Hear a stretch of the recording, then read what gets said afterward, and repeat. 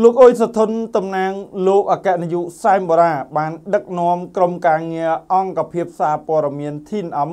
ទៅកំសាន្តតំបន់ទេសចរលំដាប់ពិភពលោកនារដូវចូលឆ្នាំប្រពៃណីខ្មែរ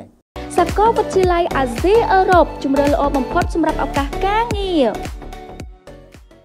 នៅថ្ងៃទី13ខែមេសាឆ្នាំ2023នេះក្រុមការងារ TNM ទូទស្សន៍អនឡាញដំបងគេនៅកម្ពុជា បានការទទួលស្វាគមន៍ដោយលោកអ៊ុយសុធុនដែលជាសហការីពិសេសរបស់ TNM និងជានាយកក្រុមហ៊ុនអ៊ុយសុធុនលក់គ្រឿងសំណង់គ្រប់ប្រភេទនៅលើទឹកដីខេត្តសៀមរាបក្នុងនោះដែរដំណើរកំសាន្តឃើញថាក្រុមការងារដែលបានលេចធ្លោជាងគេ នៃចំណោមក្រុមការងារដែលបានចូលរួមមានលោកសឿសុធាហៅតាំងមួយគាលោកសឿសុជាសហការីប្រចាំខេត្តកំពង់ធំ លោកច័ន្ទវាសនានិងលោកសារីពុទ្ធីណាហៅ T05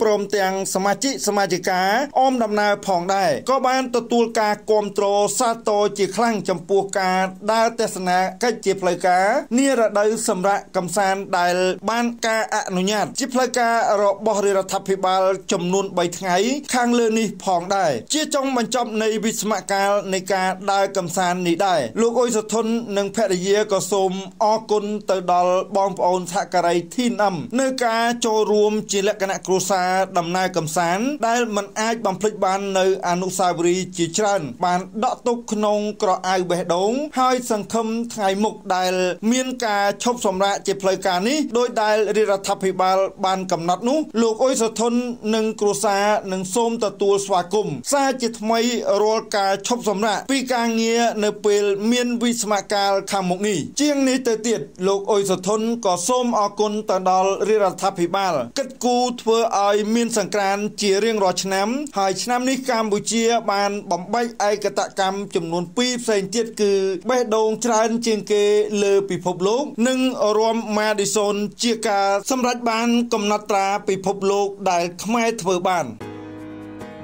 មិនមែនគ្រាន់តែជាលំនៅឋានដ៏កក់ក្ដៅប៉ុណ្ណោះទេ